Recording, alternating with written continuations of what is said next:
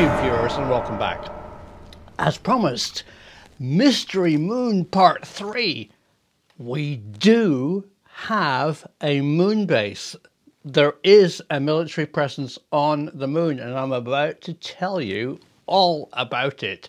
But first of all, I want to clear up one or two things about why this channel is no longer really on YouTube and has moved to Patreon. So I got really fed up with YouTube. YouTube just don't like me. Science and history channels usually get, you know, a few hundred thousand views. And this channel was getting like a thousand views, and YouTube were paying me one dollar a month income. I mean, I just couldn't make it for that. And they started blocking subjects that I was interested in that you really can't do films on World War II or a lot of history. I mean, they just don't like them because you have to be advertiser friendly.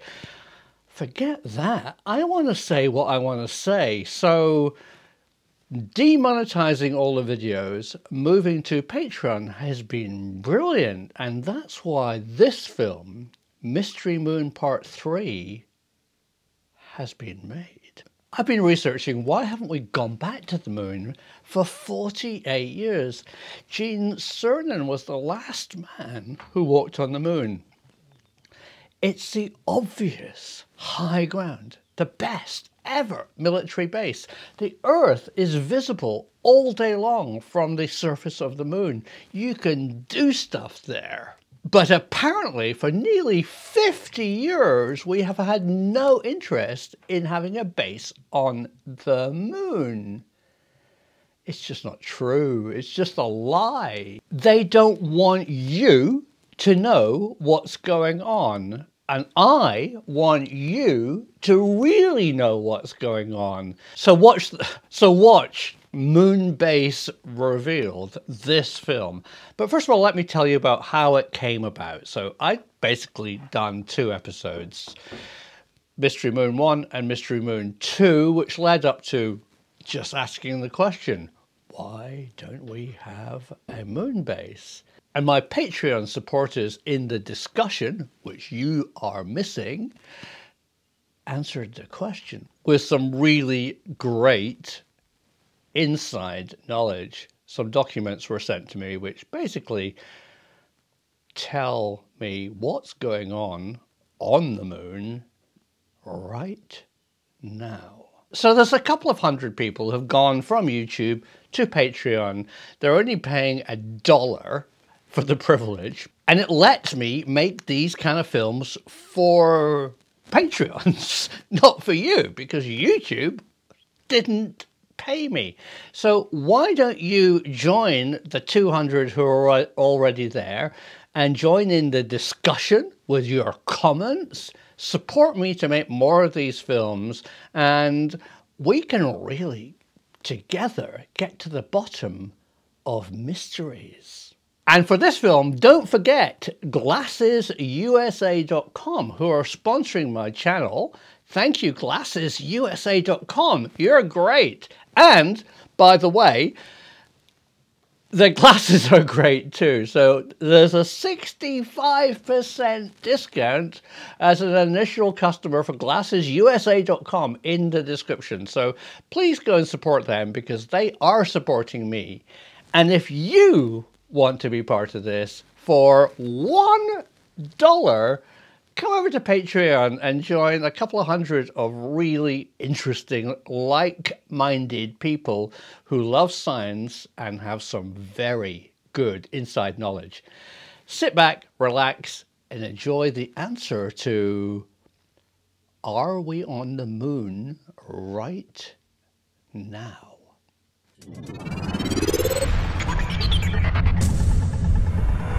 Hey, wonderful patrons, and thank you so much for watching Mystery Moon Part 1 and Part 2, but now we have Part 3. Thanks to you. Lots of people made very, very smart comments about do we have a base on the moon and what would it do?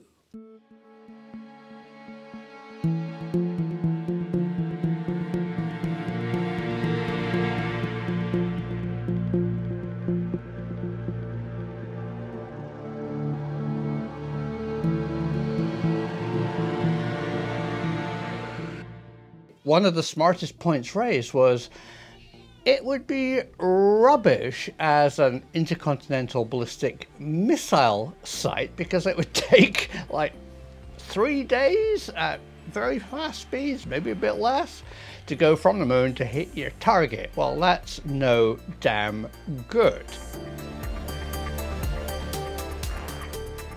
But imagine things at the speed of light. Oh, I'm not imagining laser weapons, I'm just saying telecommunications. A moon base that can transmit to the Earth in just a few seconds would be very useful. I know, and I really do know, that a lot of money is spent on finding enemy ballistic submarines. I mean, they are the terror weapon of the Cold War and mutually assured destruction because they're so clandestine. And if you could know where your enemy submarines with missiles on board are, you've got an enormous advantage. And you could see if they were making any moves to fire them or whatever. So, I mean, so much money has been spent in searching for submarines over the years. The whole SOSUS uh, seabed sonar system was wired across the whole of the Atlantic, possibly the Pacific too, and monitored. And every single sound under the sea is analyzed. And as we've talked before, magnetic anomalies can now be found from aircraft, maybe from space. An incredible detail was found in a gravity model, so you could see gravity disruptions, possibly by a large submarine. So it makes sense to me that military really do want a base on the moon for some military non-scientific activities, not missiles, but submarine tracking, communication, and then for space, it's a great launch pad for missions to Mars or elsewhere.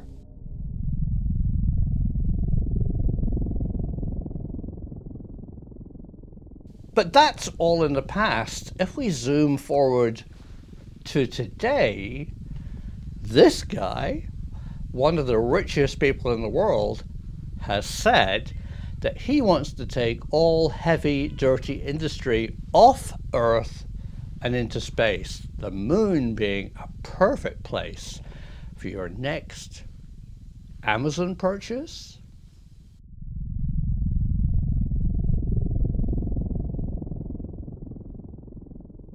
So I looked really carefully and I genuinely believe that we do have a base on the moon. Okay, it's not a manned base. And it's made up of various scientific instruments that effectively make the whole moon a base. And that's why I think we need two way communication, internet, 5G to control the guys on the moon and sending data back to the Earth. But let's look a bit more closely on what we probably have. First of all, the concept of a manned moon base was taken really seriously. In the mid 50s, Project Horizon wanted to bury parts of rockets in trenches on the surface of the moon for a permanent manned base. And they did it, but not on the moon. They did it here in the Arctic. On the top of the world, Below the surface of a giant ice cap, a city is buried. This is the story of Camp Century.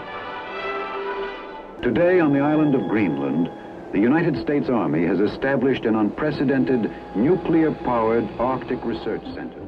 This very secret base was under the ice and was powered by a nuclear reactor.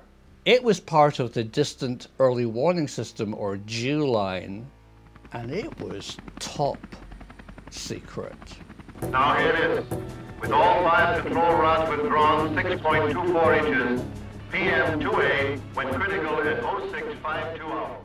Many of its technologies in heating, water production, and just general life, the psychological effect of being in a tube buried under the ice or on the moon, there's not much difference.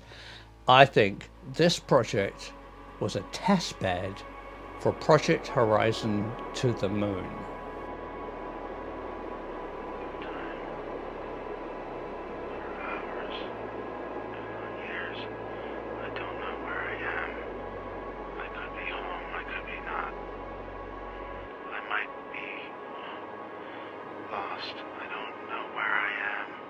But all the time the manned mission was planned and cancelled and other plans made, unmanned scientific instruments were sent to the moon.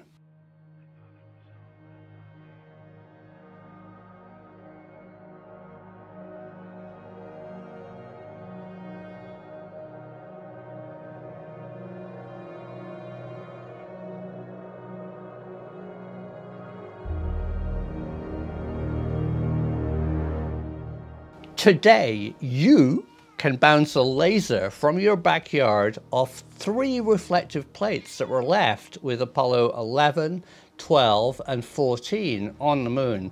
And they are used by scientific establishments to discover the distance accurately to a few millimeters from Earth to the moon. That's a science project.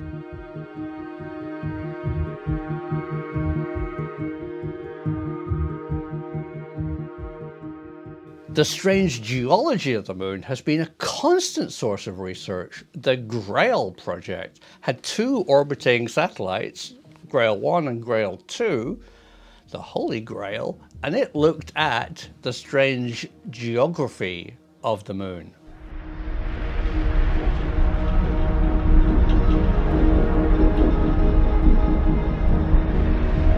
And let's not forget, we know how to soft land on other planets. Look at all the rovers on Mars and look at the work they're doing. And as we know, the moon is only three days away, and we know how to soft land on its surface.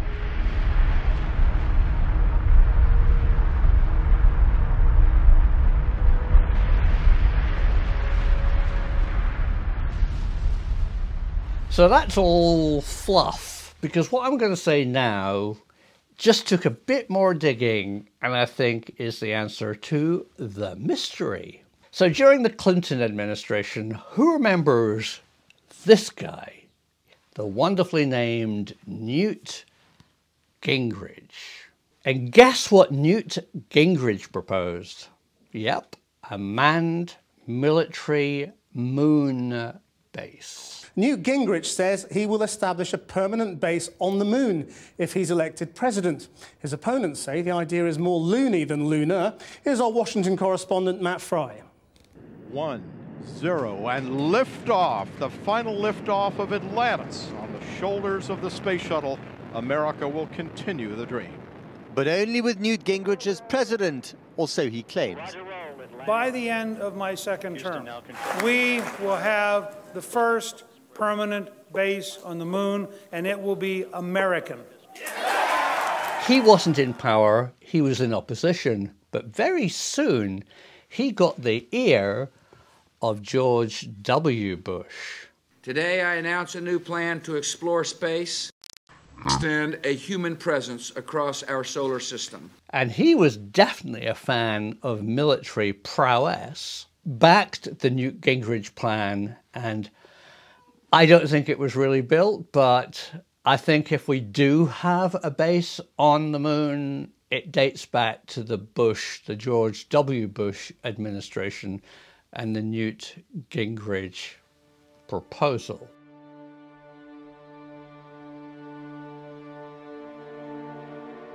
Of course, it's not on the internet, and I've dug around to see did it happen? Was it cancelled? Where was the funding? You know, what happened to the Gingrich moon base? And it's just a brick wall. I mean, you can't really tell what happened. Either it just went away or it was built and we know nothing about it. The truth is out there.